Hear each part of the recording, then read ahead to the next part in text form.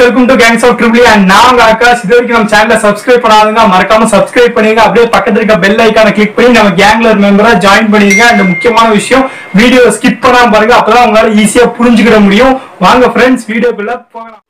இன்னைக்கு நம்ம இந்த வீடியோல எதை பத்தி பார்க்க போறோம் அப்படின்னு பாத்தீங்கன்னா advantages of electric heating electric ஹீட்டிங்னால என்னென்ன நன்மைலாம் இருக்கு அப்படின்னு சொல்லிட்டு ஒரு டென் ஸ்டெப்ஸ் இருக்கு.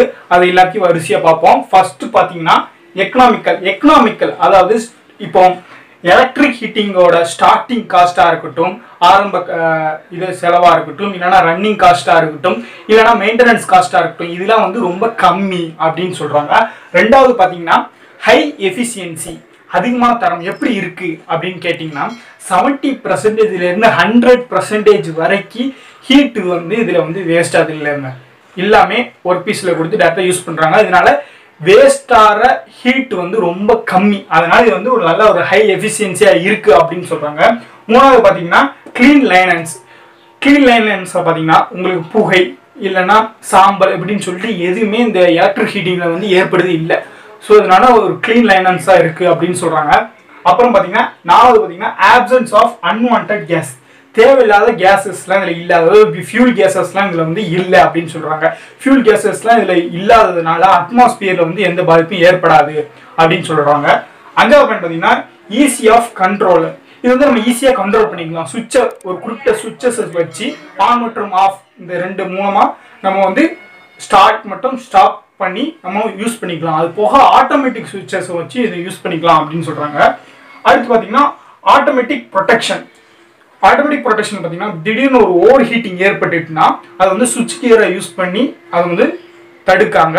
ஸோ இது வந்து நமக்கு வந்து ஒரு ஆட்டோமேட்டிக்காக ஒரு ப்ரொடெக்ஷனாக நமக்கு வந்து யூஸ் ஆகுது அப்படின்னு சொல்கிறாங்க செவன்த் பாயிண்ட் பார்த்தீங்கன்னா லோக்கலைஸ்ட் அப்ளிகேஷன்ஸ் அந்த ரோகலைஸ்ட் அப்ளிகேஷன்ஸ் பார்த்தீங்கன்னா ஒரு ஒர்க் பீஸை வந்து குறிப்பிட்ட டெப்த் அளவு அதாவது குறிப்பிட்ட ஆழம் வரைக்கும் நம்ம ஹீட் பண்ணதுக்கு ஹீட் ட்ரீட்மெண்ட்டை வச்சு நம்ம யூஸ் பண்ணுறோம் இது வந்து எலக்ட்ரிக் ஹீட்டிங்கில் மட்டும்தான் சாத்தியம். மித்த எந்த ஹீட்டிங்லையும் இப்படி பண்ண முடியாது. ஒரு டெப்த் வரைக்கும் நம்ம ஹீட் பண்ண முடியாது அப்படின்னு சொல்கிறாங்க ஆனால் இந்த எலக்ட்ரிக் ஹீட்டிங்கில் ஒரு ஒர்க் பீஸில் ஒரு குறிப்பிட்ட டெப்த் அளவு வரைக்கும் நம்ம ஹீட் பண்ணிக்கலாம் அப்படின்னு சொல்கிறாங்க அடுத்து எட்டாவது பாயிண்ட் பார்த்தீங்கன்னா யூனிஃபார்ம் ஹீட்டிங் ஒர்க் பீஸில் இண்டக்ஷன் ஃபர்னன்ஸை யூஸ் பண்ணி ஒர்க் பீஸில் நம்ம எந்த யூனிஃபார்மாக எல்லா இடத்துலையும் யூனிஃபார்மாக ஹீட்டிங்கை ஏற்படுத்துனாங்க. அதுதான் வந்து யூனிஃபார்ம் ஹீட்டிங் அப்புறம் நைன்த் பாயிண்ட் பார்த்தீங்கன்னா low attention and maintenance cost இதில் வந்து சூப்பர்வைஷன்ஸ் வந்து நிறைய தேவையில்லை. ரொம்ப கம்மியாக இருந்தாலே போதும் அப்படின்னு சொல்கிறாங்க அது போக மெயின்டெனன்ஸ் காஸ்ட்டும் ரொம்ப கம்மி அப்படின்னு சொல்கிறாங்க ஏன்னா இதில் வந்து க்ளீன் லைனன்ஸ்லாம் பார்த்துட்டு இந்த புகை கேஸு இல்லைனா அந்த ஃபியூல் கேஸஸ் இதெல்லாம் எதுவுமே ஏற்படாததுனால நம்மளுக்கு வந்து மெயின்டெனன்ஸ் காஸ்ட் வந்து ரொம்ப கம்மியாக இருக்கும்.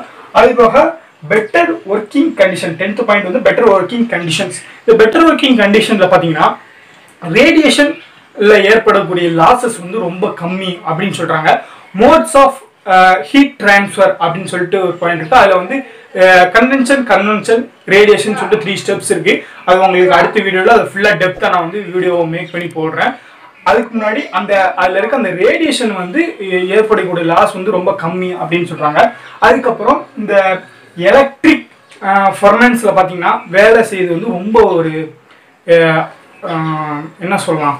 ரொம்ப கம்ஃபர்டபுளாக இருக்குது அப்படின்னும் இந்த பெட்டர் ஒர்க்கிங் கண்டிஷனில் சொல்கிறாங்க அது போக இதில் வேலை செய்கிற ஒர்க்கர்ஸ்க்கு பார்த்தீங்கன்னா உங்களுக்கு வந்து ஹீட்டால் ஏற்படக்கூடிய ஒரு டேஞ்சர் வந்து ரொம்ப கம்மி. ரொம்ப ஹீட் வெப்பம் வந்து ஏற்படாதுங்க. அப்படின்னு ஒர்க்கர்ஸ்க்குலாம் ஏற்படாது அப்படின்னு சொல்லிட்டு சொல்கிறாங்க ஓகே ஃப்ரெண்ட்ஸ் உங்களுக்கு இந்த வீடியோல ஏதாவது டவுட் இருந்தா கீழே கமெண்ட் பண்ணுங்க. வேற ஏதாவது டாபிக்கை பத்தி எடுக்கணும்னாலும் சொல்லுங்க. உங்களுக்கு இந்த வீடியோ பிடிச்சிருந்தா லைக் பண்ணுங்க. அண்ட் இந்த வீடியோ உங்க ஃப்ரெண்ட்ஸ்க்கு யூஸ்ஃபுல்லா இருக்கும்னு நினைச்சீங்கன்னா ஷேர் பண்ணுங்க. அண்ட் மறக்காம நம்ம சேனலை சப்ஸ்கிரைப் பண்ணி பக்கத்துல இருக்க பெல் ஐக்கான கிளிக் பண்ணுங்க. நான் போடுற ஒவ்வொரு அப்டேட்ஸும் உங்களுக்கு தேடி வரும்.